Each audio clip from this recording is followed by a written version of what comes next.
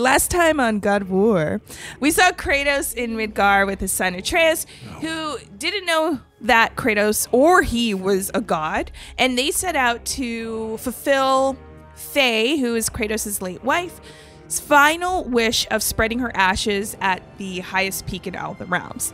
Now, because Kratos is coming from Greek mythology, he kind of ruffled the Norse gods a bit because of his bloody past and the fear that he would bring the same fate of killing all the gods, uh, like he did in Olympus, to the Norse gods. So Odin and a bunch of his goons and other gods kind of made it their mission to watch Kratos and maybe stop him from a few things on his journey. Now, the two, uh, Kratos and Atreus, use the Bifrost in Tyr's temple to travel to different realms, and along their journey, they meet a few allies.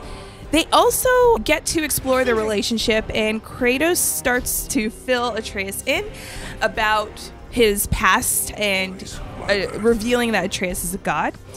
They go and battle against minions and, and some gods like Thor's sons, Magni and Modi, who Kratos and Atreus kill.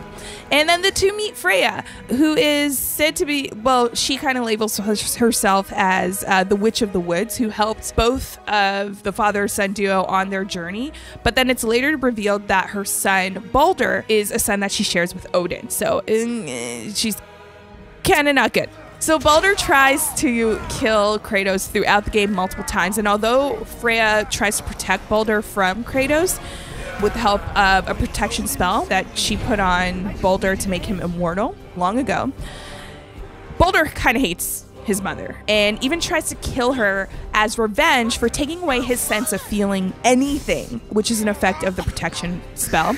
Because of this, Kratos ends up killing Baldur to protect Freya.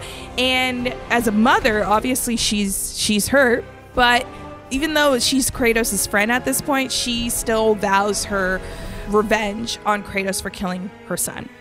By the time we get to the end of the game, Kratos and Atreus finally make it to Jotunheim, which is the highest peak in all the realms, to spread Faye's ashes. And there it is revealed that all the giants are dead and that Faye, Kratos' wife, was a giant too and all the giants referred to Atreus as Loki.